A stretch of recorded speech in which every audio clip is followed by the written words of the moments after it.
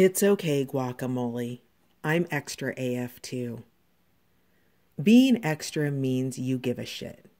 Maybe you give a shit about your on fleek eyebrows, or you give a shit about the environment, or you give a shit about making your ass clap.